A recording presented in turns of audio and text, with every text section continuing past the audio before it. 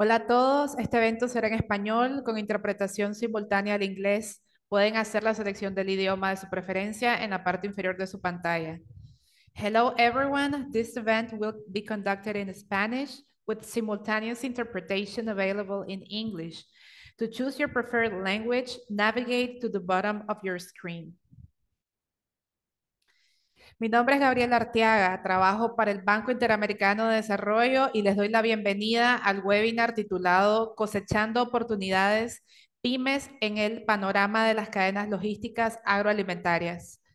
Para mí es un placer nuevamente eh, abrir este espacio de intercambio de conocimientos, que es el último webinar de la serie impulsados en el marco de la iniciativa del Bien Público Regional de fortalecimiento de la resiliencia de las cadenas logísticas agroalimentarias y mecanismos de respuestas ante crisis sanitarias. En la conversación del día de hoy tendremos un panel con dos expertas excepcionales que les voy a pasar a presentar en, en un segundo. Eh, durante nuestra conversación vamos a analizar las perspectivas de desarrollo de las pequeñas y medianas empresas frente a los nuevos escenarios de las cadenas de suministros agroalimentarias en América Latina y el Caribe. También eh, nos vamos a tomar el tiempo de profundizar en soluciones innovadoras implementadas por las pymes de las cadenas logísticas agroalimentarias que han permitido superar las incertidumbres actuales y contribuir al desarrollo económico sostenible. Posterior al panel tendremos una sesión de preguntas y respuestas que los invito a participar usando el botón de Q&A. Para adentrarnos en los contenidos del webinar de hoy, quisiera comenzar destacando el panorama actual de las cadenas de suministros agroalimentarias y cómo se encuentran las pymes en este ámbito. Como sabemos, la pandemia de COVID y el conflicto en Ucrania han tenido un impacto significativo en las cadenas de suministros, afectando la producción, distribución y disponibilidad de alimentos y eh, insumos productivos. Básicamente, el incremento de los precios de los insumos, especialmente de los fertilizantes y la energía, además de las restricciones logísticas y las disrupciones de los sistemas de transporte implica que estas empresas enfrenten costos operativos más altos. Estas crisis, al redundar en interrupciones de las cadenas de valor globales, han creado presiones sobre los sectores productivos, con muchos países aportando eh, una, más bien, los países aportando a una regionalización de la producción, contrario a lo que se ha venido observando en décadas pasadas, más orientado hacia una globalización de la producción, en donde se buscan nuevas oportunidades para sustituir y crear comercio a nivel regional o a nivel de las cadenas de valor, justamente para disminuir los riesgos asociados a las disrupciones de las cadenas de suministros globales. Pero ¿Dónde se sitúan las pymes en este panorama global? Para ubicar a las pymes, me gustaría brindarles un dato relevante. La OCDE estima que el 70% de las cadenas de suministros de alimentos en los países en desarrollo están compuestas por pymes. Este sector se caracteriza por conectar a productores rurales con los consumidores urbanos a través de una red de diferentes organizaciones de pequeñas y medianas empresas incentivas en el uso de, mano de obra y típicamente caracterizadas por un alto trabajo informal. Este segmento de pymes y organizaciones de la economía familiar, si bien tiene poca exposición directa a Rusia y Ucrania, se han visto afectadas indirectamente por estas tensiones través de la inflación elevada. Como ya mencioné anteriormente, estamos hablando de altos precios de los combustibles y altos precios de los insumos productivos, especialmente de los fertilizantes. Además que enfrentan condiciones financieras mucho más restrictivas. Tomando en cuenta que las pymes como tal representan un sector altamente heterogéneo, como lo vamos a ver en este, en este conversatorio, los impactos de estas crisis han sido diferenciados a lo largo del espectro. Por ejemplo, las pymes de las cadenas agroalimentarias que producen y venden para el mercado local, para el consumo local, enfrentan hoy en día altos, altos precios de los combustibles, altos costos eh, de los fertilizantes, por lo que este segmento se ve obligado a reducir el uso de los insumos, enfrentándose a disminución de los rendimientos, disminución de la producción total y, por supuesto, menores ingresos. Esto es sumamente relevante porque la producción de estas pymes es fundamental para la seguridad alimentaria, tanto urbano como rural en la región. Y es aquí donde entran en juego el alcance de objetivos, objetivos de desarrollo fundamentales para el bienestar de la sociedad. Otro ejemplo relevante es que antes del conflicto en Ucrania, las pymes involucradas en el comercio internacional tenían un buen desempeño económico en comparación con las pymes no involucradas, es decir, este segmento se encontraba en una mejor posición. En medio de todo este panorama general, también surgen cuestiones específicas sobre cómo las pymes están sorteando estos nuevos escenarios de transformación económica y social. Como veremos en el panel, no todo es necesariamente negativo, ya que existen oportunidades que pueden ser un vehículo que fortalezcan el crecimiento de estos agentes. Pero para cosechar estas oportunidades, necesitamos conocer los requerimientos para que esto efectivamente suceda y tomar lecciones aprendidas eh, de experiencias de éxito que ya venimos observando en la región. Para esto, hoy contamos con un panel de expertas que estarán tocando estos aspectos interesantes desde su notable experiencia en la región. Sin más preámbulos, yo quiero pasar con mucho gusto y placer a presentarles al panel de hoy. Hoy nos acompaña Sofía Fallas. Sofía es consultora de infraestructura de transporte para la integración regional de la, de, la División de Transporte eh, del sector de infraestructura y energía del Banco Interamericano de Desarrollo. Ella tiene una rica experiencia en la gestión y desarrollo de proyectos en diversos temas que van desde la infraestructura de transporte, la movilidad urbana, el desarrollo económico sostenible, el fortalecimiento institucional, entre otros, y se ha desempeñado tanto en el BID como con otros organismos multilaterales y también eh, con el sector público. Ella es licenciada en Ingeniería Industrial del Instituto Tecnológico de Costa Rica, cuenta con un máster en Desarrollo Local, y Empleo de la Universidad Politécnica de Cartagena y la Universidad de Murcia, España. Muchas gracias, Sofía, por estar con nosotros hoy. Bienvenida, es un gusto tenerte con nosotros. Muchísimas gracias, eh, Gaby. Eh, agradezco muchísimo la invitación de participar en este panel. Eh, quiero saludar a todos y todas las personas que nos están acompañando hoy y también a María Clara, mi compañera panelista también, eh, que con mucha ilusión quiero escuchar lo que tiene para aportarnos el día Gracias. Excelente, Sofía. Bienvenida nuevamente. Para nosotros también estamos con mucha emoción de escuchar eh, toda la vasta experiencia y todo el trabajo que han venido desempeñando. Eh, ahora les quiero presentar, tengo el placer de presentarles también a María Clara Gutiérrez. María Clara tiene experiencia en el sector público colombiano, especialmente como asesora en asuntos legales internacionales para el Ministerio de Industria y Comercio, pero también su experiencia va mucho más allá y es muy vasta en materia de los organismos multilaterales enfocados en la integración regional, como por ejemplo con la Asociación Latinoamericana de Integración ALADI. En ALADI ella ha sido encargada, entre otras cosas, eh, de diversos temas asociados a la cooperación, el desarrollo económico y la promoción comercial. Se ha desempeñado también como consultora eh, para la Organización de las Naciones Unidas para la Alimentación y la Agricultura, FAO, y actualmente es consultora internacional en integración económica, promoción comercial e internacionalización de las pymes. Bienvenida, María Clara, es un placer tenerte. Muchas gracias, Gabriela, y buenos buenas tardes a todos. Eh, les agradezco mucho eh, esta invitación y quiero saludar también a Sofía, eh, mi copanelista, que, que, creo que vamos a, a tener una conversación muy interesante. Excelente. Bueno, para comenzar el panel, quisiera justamente empezar con una primera pregunta a Sofía un poco asociada a este panorama global que, ya mencioné y para conocer un poco más las cuestiones específicas en materia de infraestructura de transporte y logística a disposición de las pymes. Sofía, me gustaría preguntarte cuáles son los desafíos logísticos y de transporte que enfrentan las pymes en la región de América Latina y el Caribe desde tu perspectiva. Eh, ¿qué, ¿qué, opinas sobre estos desafíos? Y si existen proyectos específicos del Banco Interamericano de Desarrollo que hayan abordado con éxito esto, esto, estos desafíos y estas nuevas eh, complicaciones en, en, en, el escenario global para las pymes. Adelante, Sofía.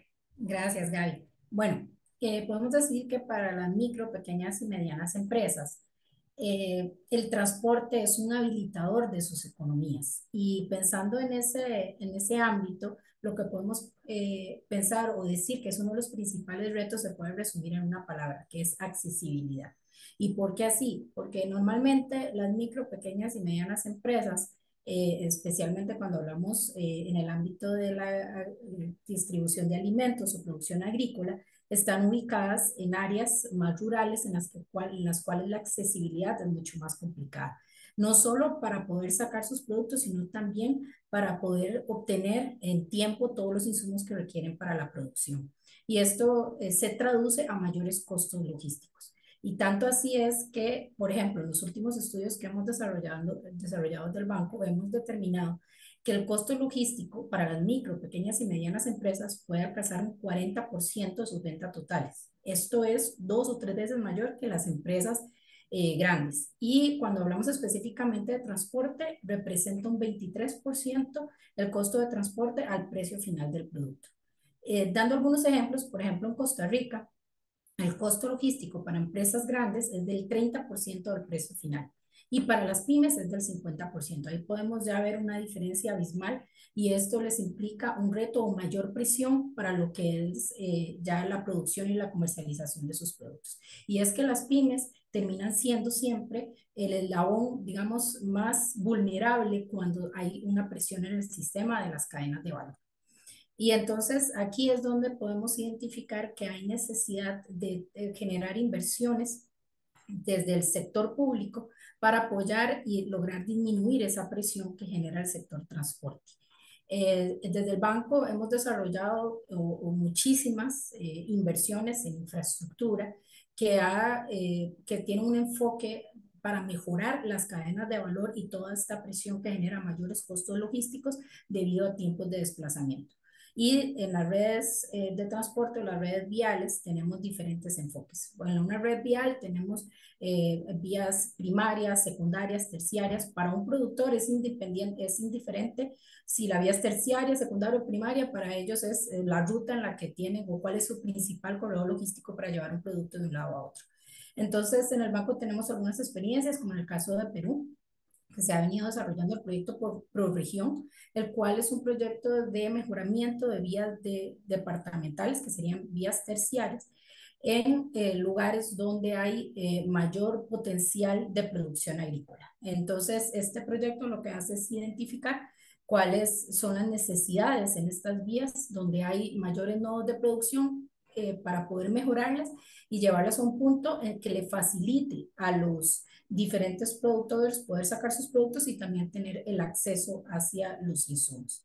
Y, este, eh, y lo que pasa es que es, hay datos que nos demuestran que cuando mejoramos las condiciones de las vías, ah, esto va a generar mayor productividad entre un 9% o un 22% en esas zonas en donde se hace ese mejoramiento o de acceso de las vías. Por ejemplo, uno de los resultados que obtuvimos con Perú es que un centro poblado con una población mayor de 10.000 habitantes podría mejorar su conectividad con los centros productivos para el 70% de su demanda alimentaria. O que también se obtendría un ahorro promedio de tiempos de viajes del 25% para el abastecimiento local, eh, desde los nodos de producción hasta los centros de distribución. Otro caso interesante eh, y que también se eh, suele suceder muchísimo eh, en, en, nuestra región es el desarrollo de vías primarias que conectan una región con otra dentro de un mismo país. Este caso puede ser como el de Costa Rica, cual tiene una región eh, Huetar Norte, que es en la cual se concentra muchísima producción agrícola, principalmente piña y, y, y tubérculos como la yuca.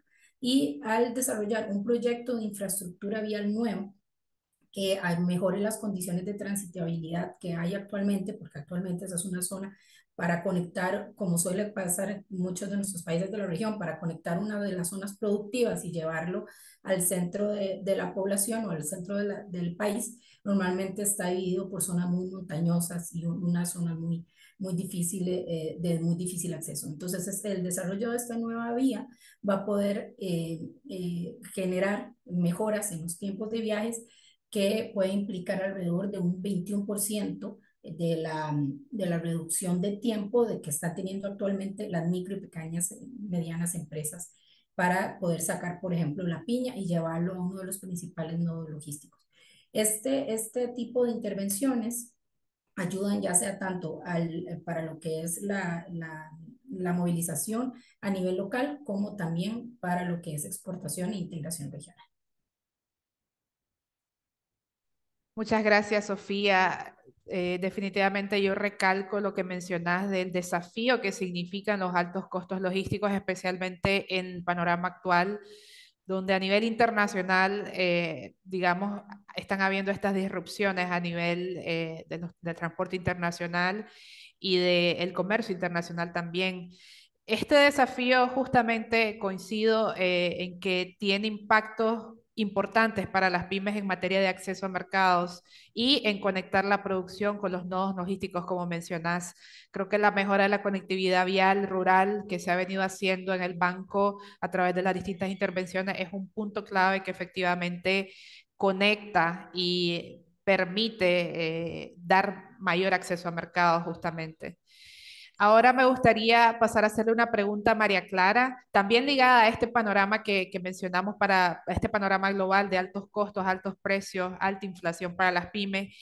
¿Nos podrías compartir, María Clara, basándote en tu experiencia, cuáles son los desafíos y oportunidades más destacados eh, para las pymes y para las organizaciones de la agricultura familiar en el contexto de estas transformaciones? Además, si nos puedes dar perspectivas eh, cómo estas entidades podrían adaptarse al complicado escenario actual de, aumento de precios, básicamente. María Clara, adelante.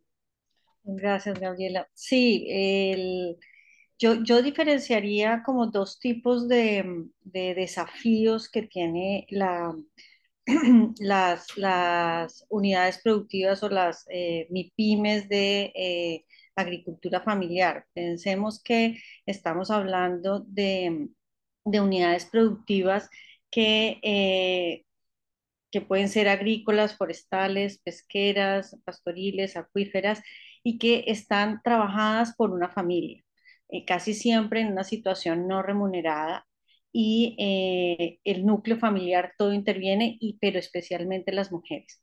Entonces ahí tenemos unas, unas condiciones y unas, unas especificaciones que, que diferencian de otras pymes eh, productivas de, la región. Pensemos también que alrededor de 16, 16 millones, un poquito más, de, explotaciones eh, productivas pertenecen a la agricultura familiar en la región y que agrupan una población de unos 60 millones de, personas, representando el 90% de, de unidades productivas de América Latina y el Caribe. Entonces son son muchas, lo que mencionaba Sofía, están a veces ubicadas en, lugares extremos, en lugares que no tienen posibilidad de acceso.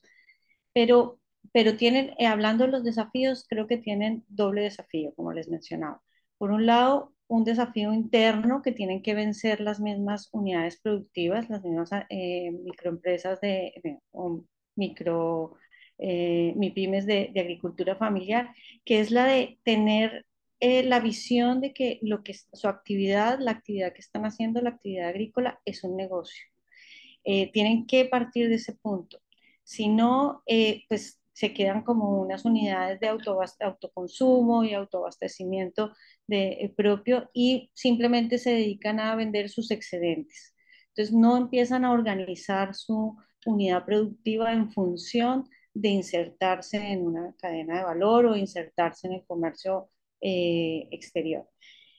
Y además yo le sumaría a, ese aspecto interno el tener un compromiso de, querer llegar a, a, vender, a vender sus productos y a, llegar a mercados mm, externos, así sean locales o regionales o, globales. Y por otro lado, el, tienen que vencer un poco también la, la desconfianza de asociarse con otros, ¿no? De, integrar eh, eh, cadenas de suministro o de hacer parte de asociaciones y, de hacer parte de, cooperativas donde justamente van a poder eh, llevar a, a, compartir riesgos y a, y aprovechar oportunidades conjuntamente. Entonces, a, manera del de, campo externo, para, para, cerrar ahí un poco la, la, intervención, pues hay otras, hay otras, hay otras condiciones que, que no necesariamente son atribuibles a la unidad productiva, sino que van, tienen que ver con el entorno en el que están y es el acceso justamente a la infraestructura, la logística, al tener la posibilidad de, de, sacar sus productos y hacerlos llegar a su destinatario final, eh, sino también la conectividad que puedan tener para, para poder desarrollar su producción así como acceder a los fertilizantes, a los insumos, a, a, semillas, para que puedan mejorar su productividad, que es un asunto también muy importante a la hora de integrar no solamente cooperativas, sino cadenas em, regionales de valor. Y sobre, la, y sobre las oportunidades o sobre las em, perspectivas que hay frente a las dificultades que ha habido, que tú ya lo mencionaste, Gabriela, eh, post pandemia y con la, eh, la, crisis de los contenedores, eh, también con con la, el, incremento de los, de los precios de los fertilizantes por la guerra de Ucrania, pues ahí eh, la asociatividad y el cooperativismo resulta un elemento como fundamental para que estas empresas o estas eh, unidades productivas puedan eh, acceder a un mercado externo y acceder a unas condiciones de mejorar sus, sus condiciones de producción. Entonces, eh, mm, ese aprovechamiento de esas condiciones ha permitido también que las cooperativas y las asociaciones empiecen a mirar a sus vecinos y a mirar a los, los, acuerdos que los países tienen entre sí en la región que pueden generarle unas ventajas mucho mayores que el llevar sus productos más lejos, que los costos de transporte son más costosos eh, que no les, no, no, no les resuelve absolutamente, totalmente los problemas de, de, acceso a infraestructura y de mejora en los costos de transporte, pero sí les ayuda a entrenarse en el relacionamiento con los otros países y con y en el comercio intrarregional. Entonces, muchas de estas cooperativas asociativas han volcado su interés en los, en los, en los mercados regionales en ir al, a, atender, a, no atender, sino a, beneficiarse y a utilizar las herramientas que los mecanismos de integración les ponen a su disposición y que los países al negociar distintos acuerdos de comercio regionales han eh, facilitado la, eh, beneficios arancelarios, eh, de infraestructura también incluso, y de poder llegar fácilmente a, unos mercados más cercanos.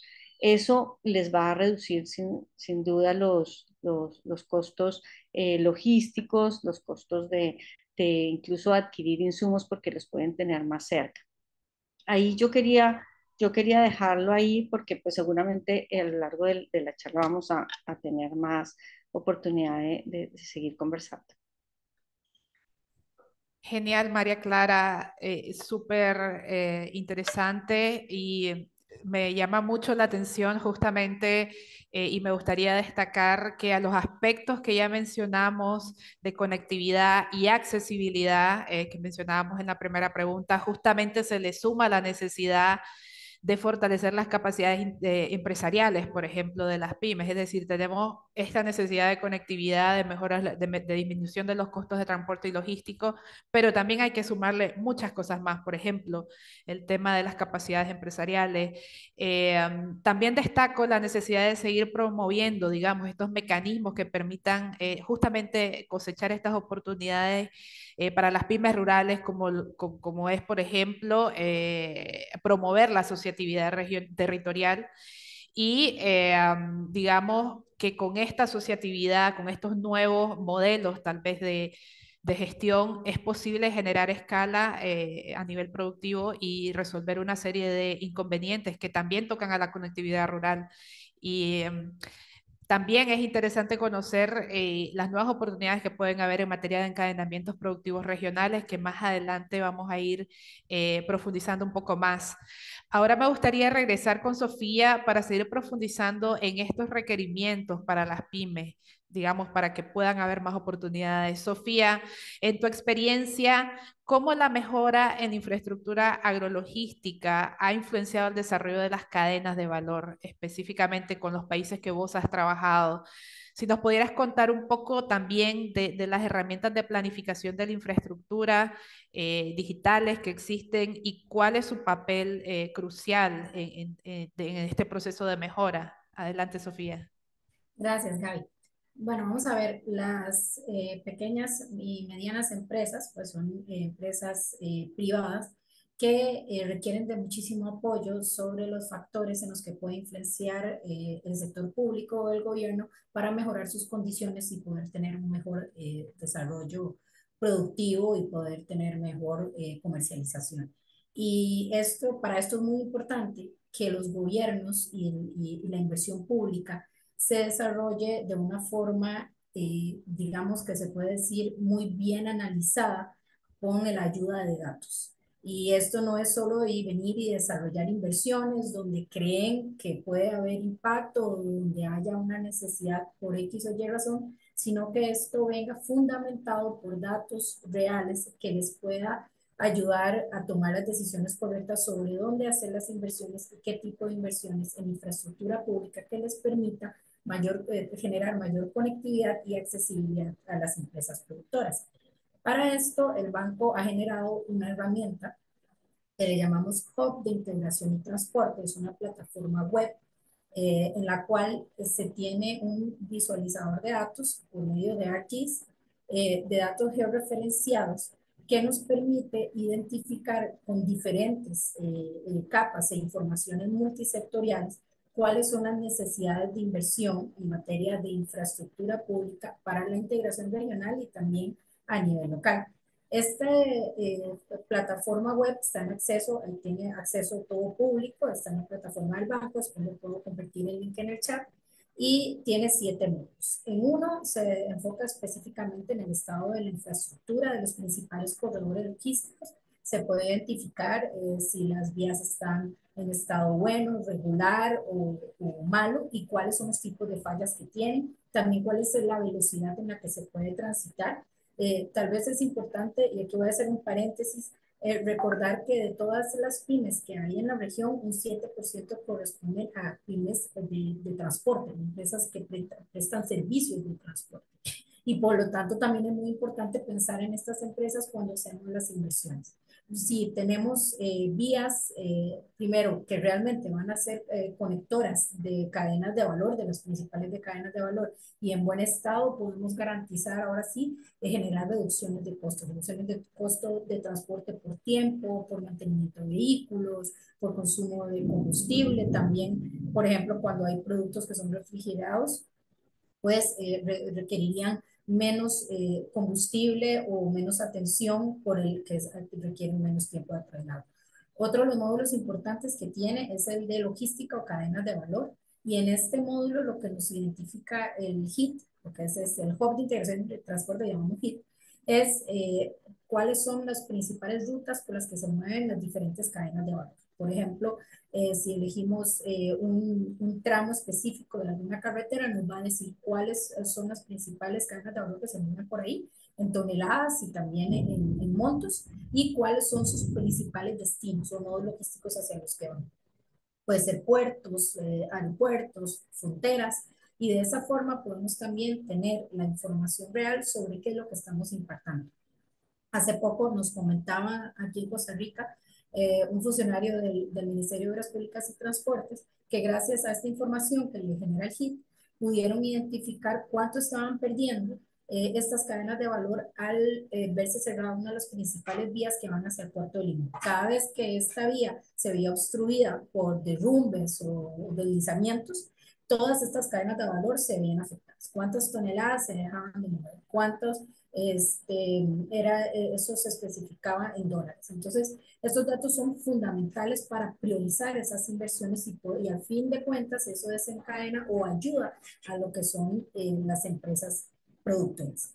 Eh, también tiene otros elementos interesantes y que son eh, este, otros elementos sectoriales fundamentales. Uno está relacionado con los efectos del cambio climático sobre la infraestructura y en esta, en esta plataforma podemos identificar en las áreas de influencia de las vías cuáles son digamos, las que tienen mayor o están más propensas a tener a futuro mayores días eh, calientes o olas de calor grandes de mayor de 32 grados centígrados. ¿Qué es lo que pasa? Esto lo que va a afectar muchísimo a la infraestructura.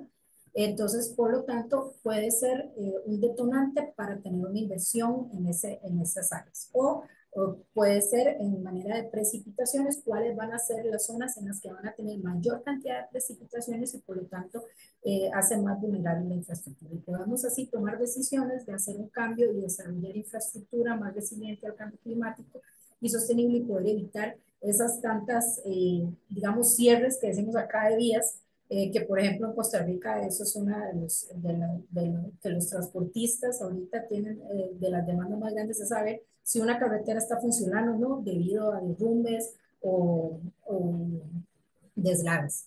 Y también tenemos otra eh, capa que es sumamente importante que lo llamamos límites de desarrollo. En esta, en esta capa podemos identificar cuál es el, la, la capacidad eh, de ingreso per cápita que tienen las diferentes áreas de influencia alrededor de los corredores viales, identificar dónde hay zonas en las cuales hay, eh, por ejemplo, zonas con, menor ingreso, población con menor ingreso eh, o menormente desarrolladas y por lo tanto enfocar inversiones de infraestructura en esas zonas para mejorar el desarrollo. Y también tenemos identificadas las, dónde están ubicadas las pequeñas y medianas empresas en, igual en esta región con el y poder identificar en dónde este, tenemos mayor concentración de empresas y de qué tipo de empresas son, también para poder enfocar los recursos. Solo para aclarar, el, el HIT en este momento lo tenemos solo para Centroamérica. Estamos ahorita trabajando para incorporar datos de México, también tenemos datos de República Dominicana, pero la idea es ir eh, desarrollando y creciendo esta plataforma para que podamos visualizar todos estos datos en conjunto, podemos compararlos entre países y de esta forma, así los gobiernos, y no solo los gobiernos, sino cualquier persona del sector puede tener datos fundamentales para la planificación del desarrollo de proyectos que vayan en el mejoramiento del desarrollo productivo de las micro, pequeñas y. Muchas gracias, Sofía. Eh, definitivamente es una herramienta muy poderosa para priorizar proyectos, la que, la que nos mencionas, justamente para que los proyectos tengan un mayor impacto a nivel de las cadenas de valor, tanto locales como regionales. Y realmente destaco eh, que la plataforma justamente abarque este, este tipo de información multidimensional. Eh, que abarque justamente todo lo que son los emprendimientos, las cadenas de valor, los sectores productivos, entre otras cosas. Este hub de infraestructura de transporte, como mencionó Sofía, está a disposición de los países y estaremos compartiéndolo a través del chat. Ahora me gustaría seguir profundizando en un tema muy clave para este webinar y es en las soluciones innovadoras ante el panorama eh, de las cadenas agroalimentarias. Hemos revisado la compleja situación actual pero ¿qué soluciones posibles se pueden implementar? Para esto me gustaría volver con María Clara y pedirte si nos podrías destacar casos específicos o ejemplos concretos de cómo la digitalización, por ejemplo, y las innovaciones están influyendo directamente a las pymes a lo largo de toda la cadena. Por favor, María Clara.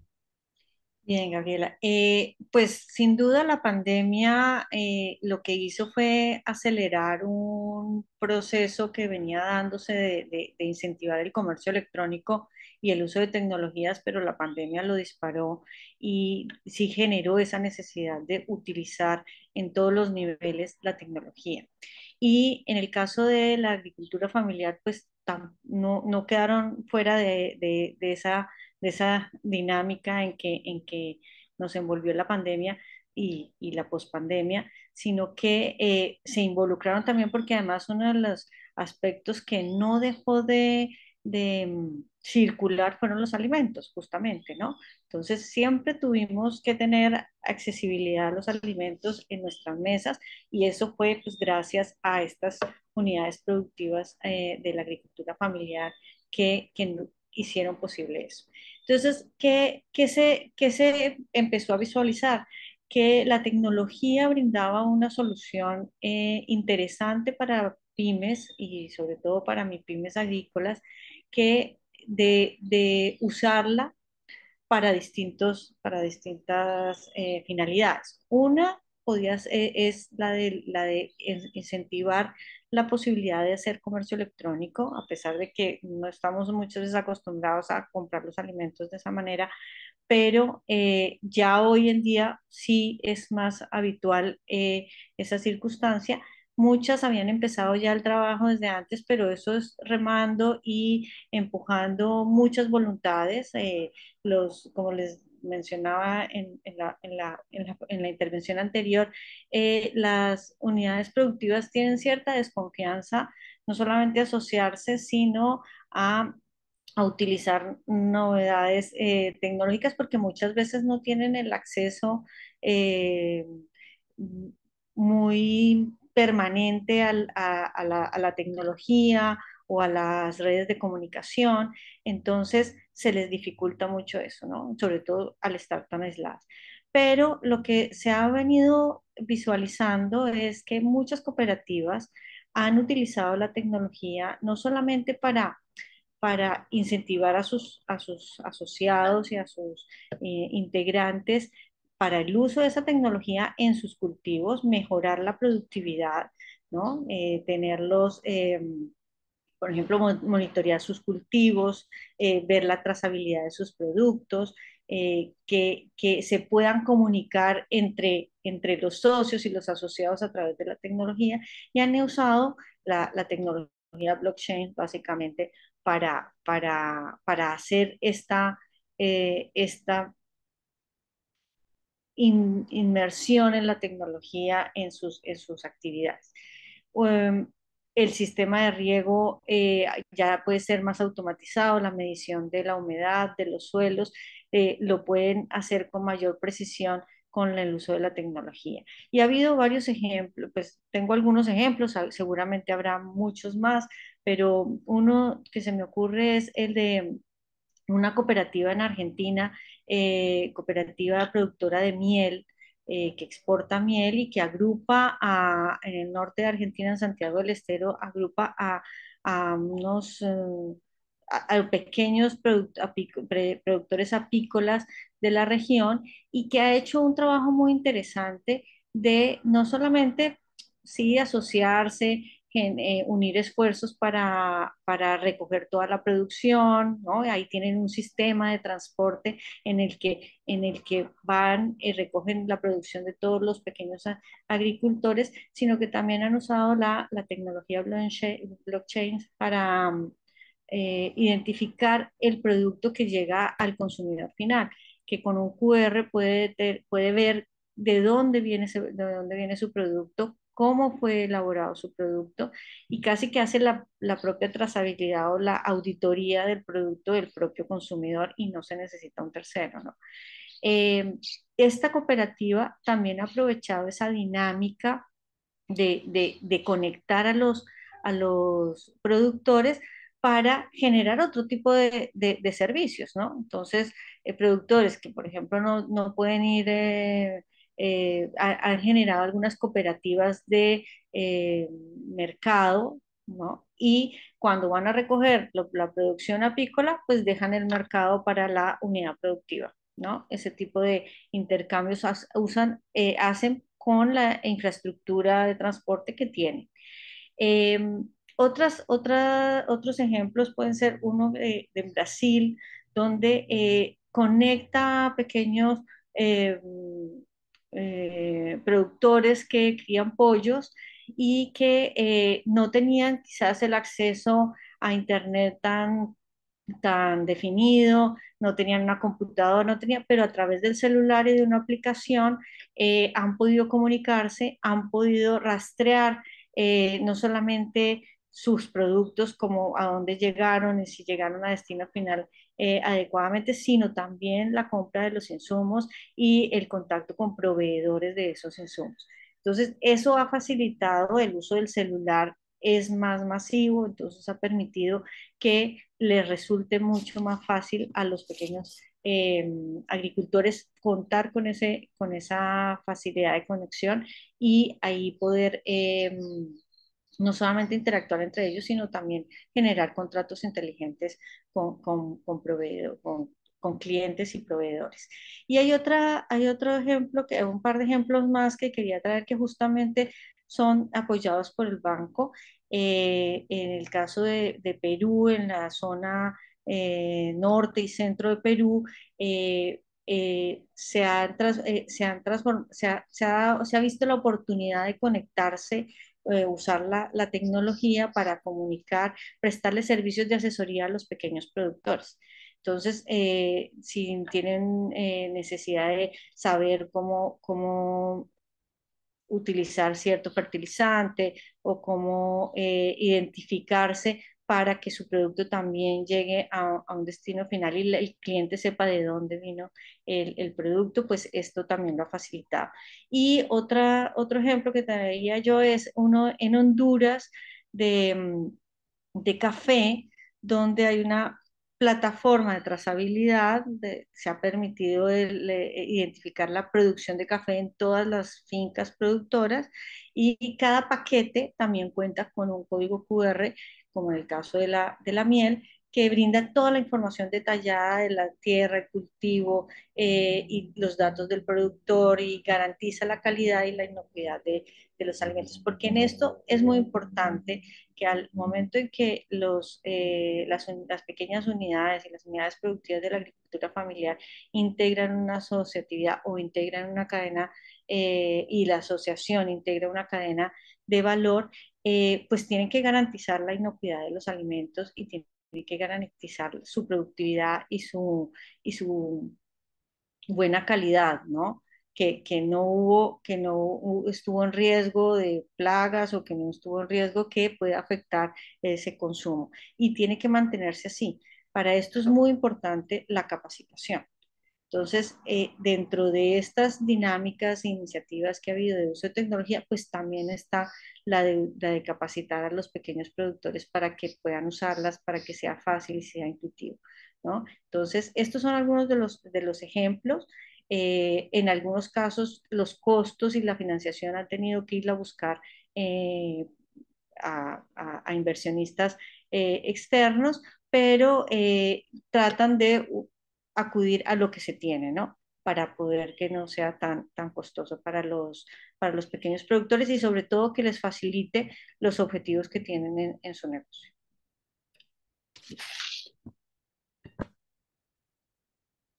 Excelente, gracias, muchas gracias María Clara. Ay, se me cerró. Eh, no, justamente yo solo destacar todos los requerimientos fundamentales para acceder a mercados, como mencionaba, y cómo la tecnología puede ayudar efectivamente, mejorar la comunicación, pero también la transparencia y la trazabilidad eh, para acceder a mercados, justamente destaco lo importante que mencionas de cumplir con estándares. Entonces, justamente no, no solamente es quedarse en tener la infraestructura física, por ejemplo, pero también qué es lo que pasa a nivel de los eslabones de la cadena productiva. Eh, a nivel de, digamos, esta trazabilidad que, permita justamente eh, mejorar los productos, disminuir los costos, mejorar las comunicaciones y conectar todos los eslabones eh, de la cadena, básicamente. Y en la digitalización, es, efectivamente, es algo que las empresas, digamos, eh, se están beneficiando, creo que después de la pandemia, cualquier empresa que digitalizó sus procesos productivos o digitalizó sus, sus operaciones fueron las que efectivamente sobrevivieron, porque hubo un cierre de los espacios físicos. Entonces, en transporte, las entregas de última mía, por ejemplo, fueron las que tuvieron el boom total. Y creo que es un, es un shock positivo que va a seguir eh, sucediendo. No creo que, ah, no creo que eh, desde mi punto de vista no es algo que se, va a detener, pero hay un reto en el cierre de la brecha digital, como mencionó María Clara, justamente el acceso eh, a la... Comunicaciones, a tecnologías de comunicación en, lugares remotos puede ser un, reto. Sofía, en la misma línea de posibles soluciones innovadoras para las pymes, me gustaría preguntarte desde tu perspectiva, ¿cuáles serían las soluciones innovadoras eh, recomendadas para superar los obstáculos logísticos y promover el desarrollo de las pymes? ¿Qué, qué soluciones innovadoras está, está, por ejemplo, el banco mirando ahora mismo? Adelante, Sofía. Gracias, Gaby. Bueno, tal vez eh, cuando hablamos de innovación no necesariamente tenemos que estar totalmente relacionados con tecnología. Tal vez eh, tenemos que ir un pasito más atrás y pensar desde los procesos, digamos, de planificación o de cómo gestionamos en el negocio, cómo podemos innovarnos y hacer cosas diferentes, no necesariamente relacionado con usos de aplicaciones móviles o plataformas o demás. Eh, por ejemplo, cuando vamos a planificar el desarrollo de un proyecto eh, y verificar realmente cuál es el impacto que tiene para las cadenas de valor, la forma en la que analizamos los datos o la información que tenemos disponible es fundamental.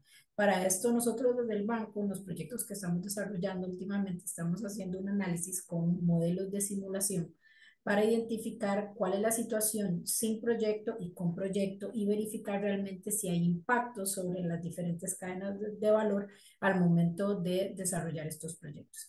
¿Y, cómo lo hacemos? Bueno, lo que usamos es eh, eh, diferentes eh, bases de datos, como puede ser las que nos, nos da el HIT que les acabo de mencionar, y utilizando otras herramientas como OpenStreetMap podemos identificar cuáles, por ejemplo, son las vías eh, preferidas que utilizan los diferentes productores para poder llevar sus productos a las zonas de comercio o a los nodos logísticos.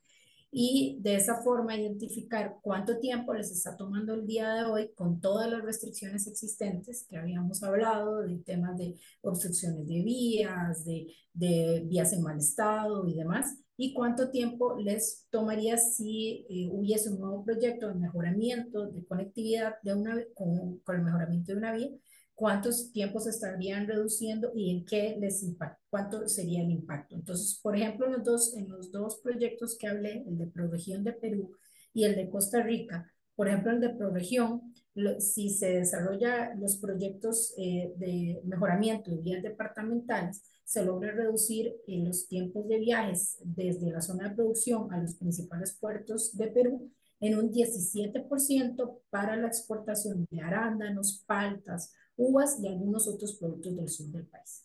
En el caso del segundo ejemplo que les hablé, de la, esta es la Ruta Nacional 35, que es la que une la zona norte de Costa Rica con el gran área metropolitana, eh, si se desarrolla esta vía eh, y, se, se, hace toda la construcción de la nueva vía, el proyecto implicaría beneficios primordialmente en el transporte de insumos agrícolas requeridos en esa zona eh, para las principales cadenas de valor.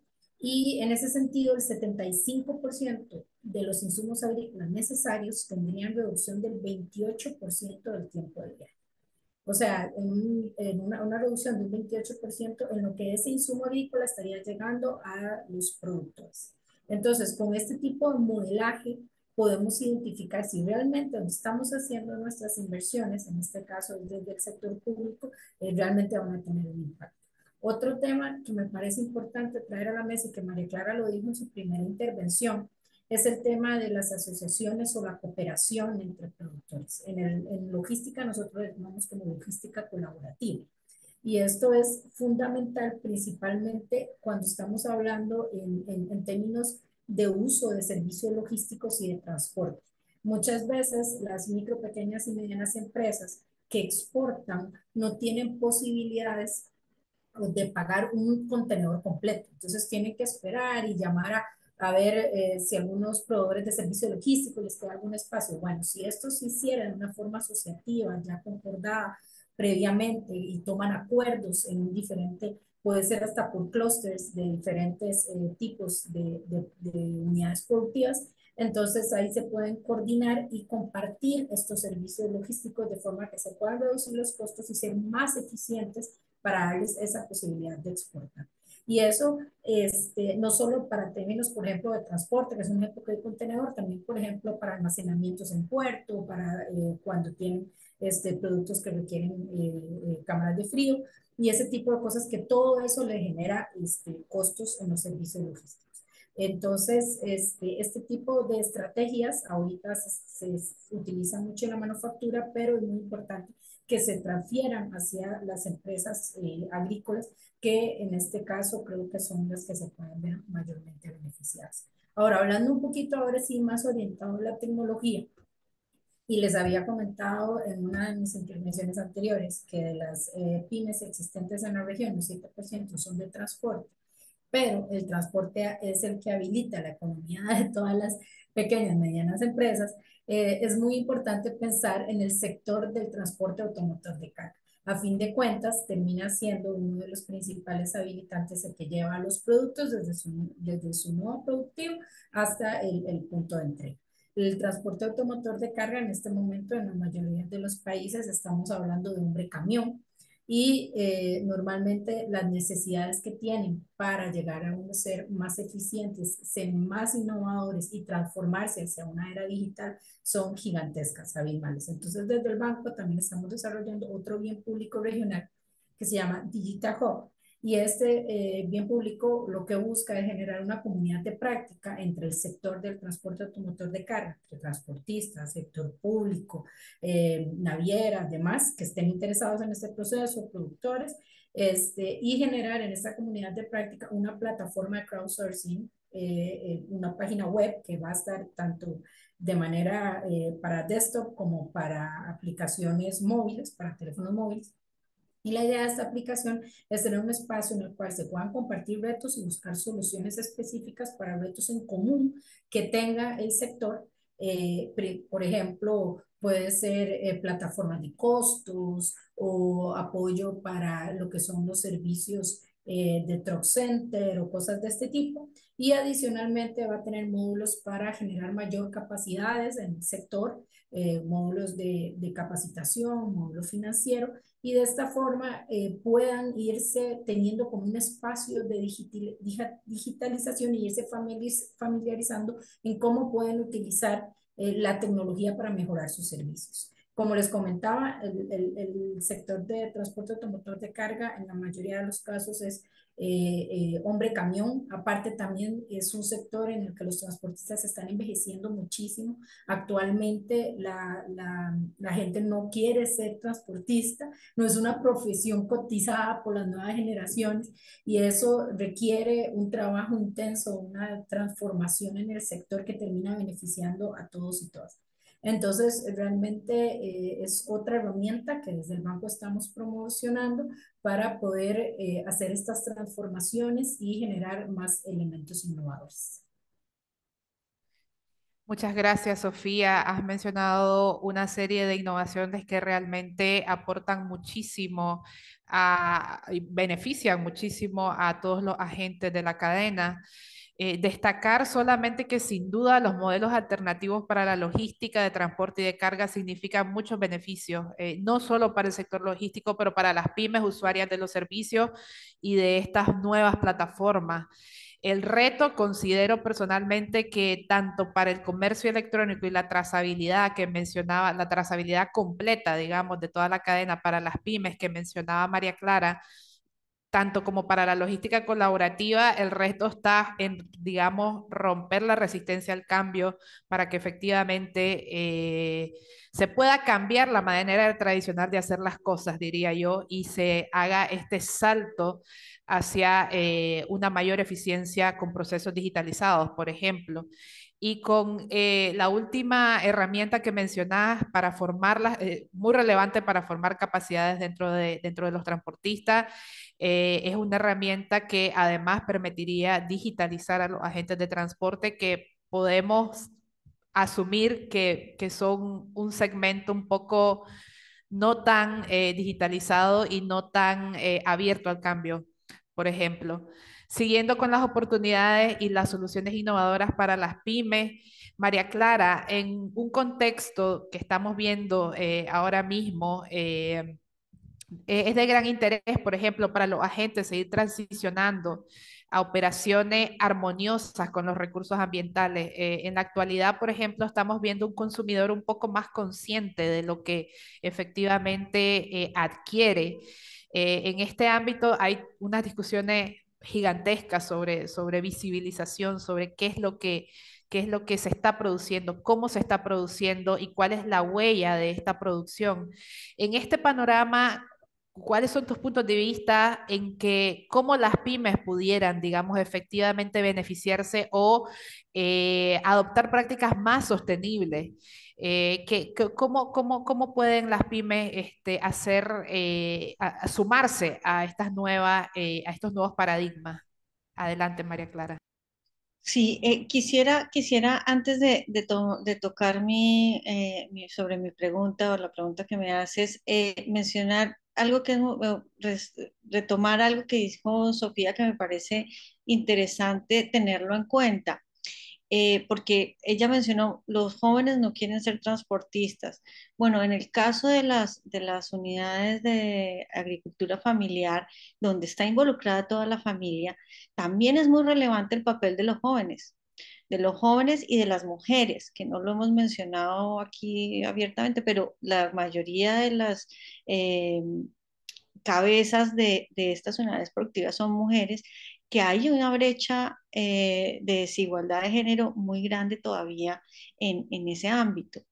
¿no? no son tomadas, a, pesar de que gestionan eh, la unidad productiva, pues no, no, se les toma en cuenta las decisiones, eh, muchas veces están relegadas, hacen los, los quehaceres además del hogar, o sea, hay como que tienen una realidad que también tendría que atenderse, y lo mismo en el caso de los jóvenes, ¿no? De, de, de generar espacios para que haya segundas y terceras generaciones en la, eh, cultivando la tierra y, y siguiendo el camino del, de la productividad de estas unidades. Entonces, eso me parece súper importante de, de, resaltar de que esta es también una oportunidad para que la tecnología ayude a eso y, y, y las nuevas tendencias también. Para responder a tu pregunta, creo que, que uno que uno, de los aspectos que hay que tener en cuenta en, general, tú mencionabas a los, al comportamiento de los consumidores y creo que sí, cada vez más eh, el consumidor es más consciente de, que el mundo es limitado y que los recursos naturales o los recursos que nos da la tierra eh, también lo son, ¿no? Y, tenemos que cambiar ese paradigma de la, de la producción, eh, del ciclo lineal, ¿no? De seguir, de producir, eh, descartar y, y, seguir produciendo y seguir descartando, ¿no? Porque pues, las acumulaciones de residuos son, son impresionantes. Solo para darte una cifra en el mundo, se, se producen 10 mil millones de toneladas de residuos al año que se pierden y que van y generan otras eh, consecuencias, sin decirte, pues además del plástico y de todos los elementos adicionales que contaminan el ambiente. Entonces, las unidades productivas eh, agrícolas son también un, un, un, actor de cambio en esa dinámica de la, de la economía, del modelo económico y de generar una economía circular junto con las asociaciones y las, y las cooperativas porque eh, al, al, generar unas dinámicas circulares, de economía circular, donde se eh, pueden innovar en la, en, la, en el uso más eficiente de los recursos, en no descartar. También estamos muy acostumbrados a que si, si la naranja no es redonda, perfecta, divina, no la, no la llevamos. Si tiene un, un, un daño que se le ocasionó en, en, el, en el contenedor cuando llegaba, la descartamos y la dejamos ahí. Resulta que esos productos pueden ir a atender otras necesidades, pueden generar otro tipo de negocios, eh, pueden, eh, pueden generar el uso, de, el uso de fertilizantes con el compostaje, por ejemplo, ¿no? Entonces, en eso también tiene que haber una capacitación y una formación y un, y un interés por involucrar a todos estos actores en tener productos que sean amigables con el medio ambiente, en generar productos que eh, no solamente eh, atienden al comercio justo, sino que también ese es el, el, valor agregado que tienen eh, estas producciones. ¿no?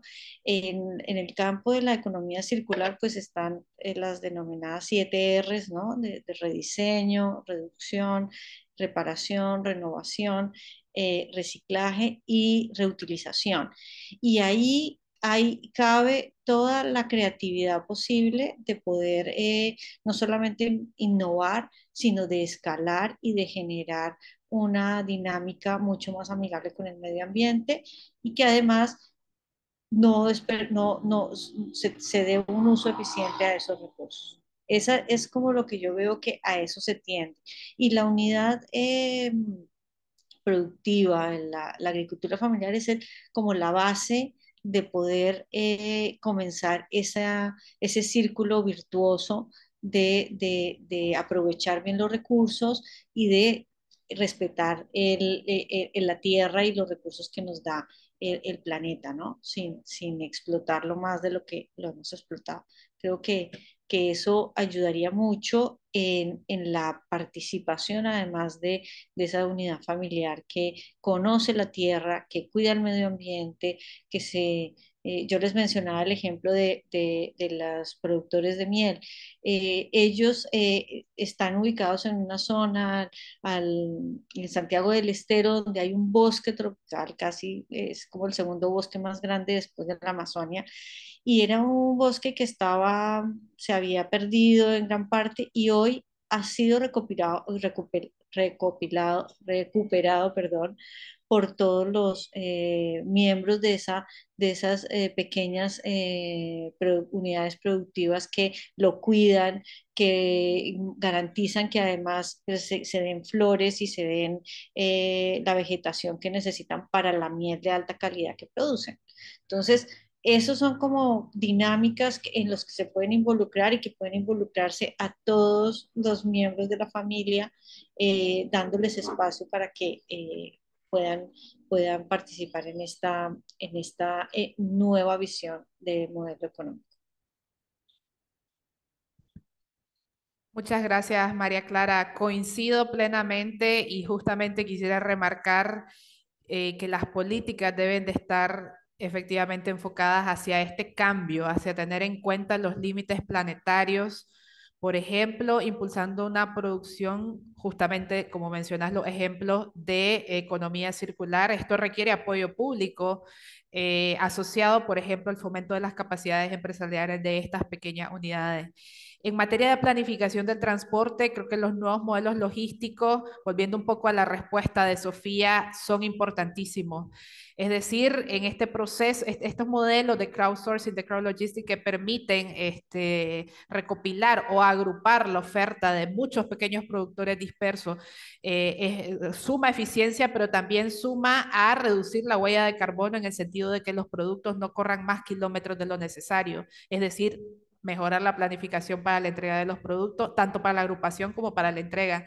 Y, existe evidentemente una preocupación de todos los agentes, eh, eh, eh, inclusive de los consumidores, para saber qué tantos recursos naturales se están consumiendo a la hora de transportar un producto, a la hora de producir dicho producto y cuántos kilómetros recorrimos desde el campo hasta la mesa, qué tan armonioso fue el proceso. Entonces yo creo que conectando todos los eslabones, tanto el ámbito productivo que mencionaba eh, María Clara, como la parte de agrupación de la oferta, planificación del transporte, las entregas y la distribución, considero que la visión debe ser holística y debe ser integral, es decir, no ver solamente eh, las, actividades desde, desde el campo, pero también ver lo que sucedió desde el campo hasta la mesa.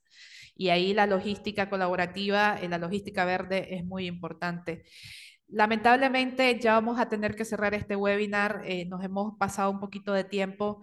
Yo quiero agradecerle grandemente a María Clara y a Sofía Fallas eh, por participar en este webinar. Realmente ha sido muy enriquecedor conocer todo lo que se está haciendo desde sus experiencias, desde sus sectores. Pero para cerrar con un comentario, quisiera destacar la necesidad de las acciones multisectoriales para fortalecer las pymes en estos escenarios económicos actuales. A lo largo del webinar tocamos muchos aspectos que van más allá de un solo sector, pero que requieren una visión integral de las cadenas productivas y de suministro, además de los sistemas agroalimentarios.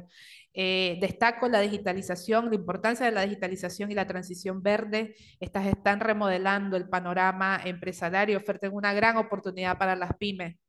Creo que es una doble transición que debe de estar impulsada y apoyada por los gobiernos de la mano de los organismos financiadores multilaterales para que las pymes efectivamente mejoren sus capacidades técnicas, tengan mayor accesibilidad, mayor eh, conectividad eh, y que sean partícipes de estos modelos innovadores que hemos mencionado eh, a lo largo del webinar. Destacar la, relevancia de las políticas públicas del sector logístico. Mucho se está haciendo. Sofía mencionó una serie de intervenciones y una serie de propuestas que realmente están aportando muchísimo a la manera que eh, se impacta o se incluye a las pymes para tener modelos más inclusivos. Y creo que para finalizar el trabajo de organismos multilaterales como el BID, de la mano con los gobiernos, además de expertos regionales internacionales eh, que trabajan con estos organismos, ha sido eh, muy enriquecedor y muy dirigido a aportar a estos objetivos de desarrollo regionales eh, para beneficio de todos nuestros países.